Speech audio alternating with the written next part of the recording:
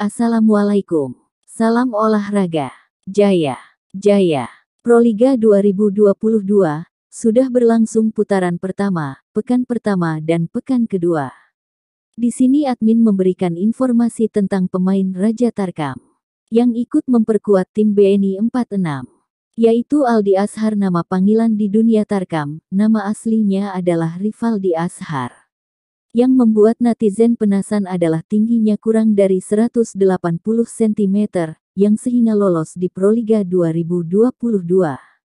Tapi, Aldi Ashar mempunyai jumping yang sangat tinggi, akan tetapi, dalam dunia pervolian bukan saja, spike yang keras dan jumping yang tinggi, tetapi postur yang tinggi sangat menentukan poin melalui defense block. Aldi Ashar pemain Tarkam kelahiran 97, umur 24 tahun, secara mengejutkan direkrut Jakarta BNI 46 sebagai pemain open spike, pemain yang mempunyai tinggi 175 cm tersebut baru pertama kali masuk sakuat Proliga yaitu bersama BNI 46.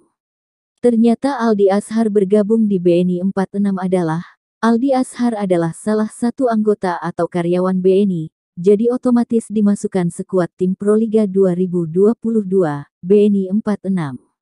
Jadi itulah alasannya kawan-kawan, kenapa Aldi Ashar masuk di BNI 46.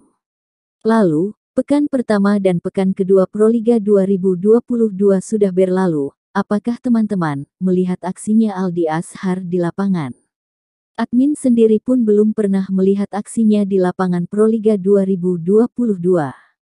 Mohon maaf apabila ada kekurangan informasi, apabila kurang tepat informasinya, silahkan komen di bawah ini, apa yang sebenarnya. Terima kasih telah menonton video ini, jangan lupa tekan tombol, subscribe, like and share.